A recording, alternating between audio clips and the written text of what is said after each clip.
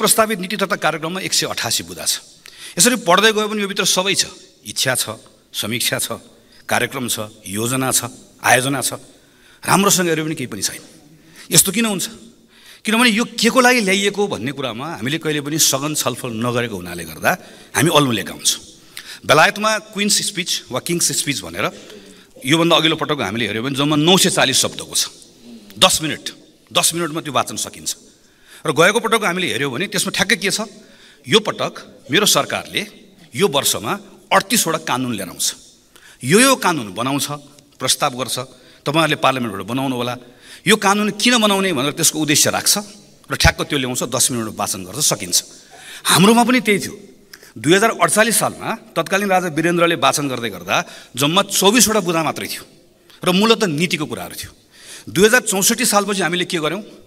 नयाँ गर्ने भन्ने सन्दर्भमा हामीले बिस्तारै कार्यक्रमको विस्तृतीकरण गऱ्यौँ र बिस्तारै सरकारको विज्ञापन गर्ने जस्तो यसलाई एउटा अस्त्र बनायौँ। नीति भनिसके पछाडि त्यसमा हाम्रो समस्या के हो? समस्याको हामीले पहिचान गर्ने। त्यसको लक्ष्य के हो? लक्ष्य प्राप्त गर्नको लागि चाहिने पोलिसी इन्स्ट्रुमेन्ट्सहरू के हो? यसरी हामीले यसलाई राख्यो भने मात्र यसको अर्थ हुन्छ। नभए अलमल हुन्छ।